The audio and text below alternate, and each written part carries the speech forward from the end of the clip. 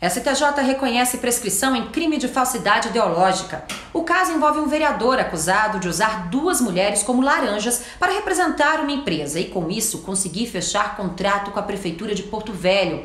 Elas tiveram os nomes incluídos na razão social da empresa em 2003 e 2007. A denúncia foi recebida somente em 2013.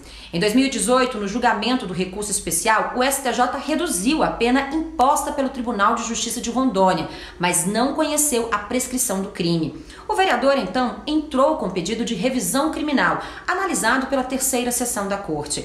O relator, ministro Reinaldo Soares da Fonseca, reconheceu a prescrição da pretensão punitiva no crime de falsidade ideológica, já que se passaram mais de quatro anos entre a data dos delitos e o recebimento da denúncia.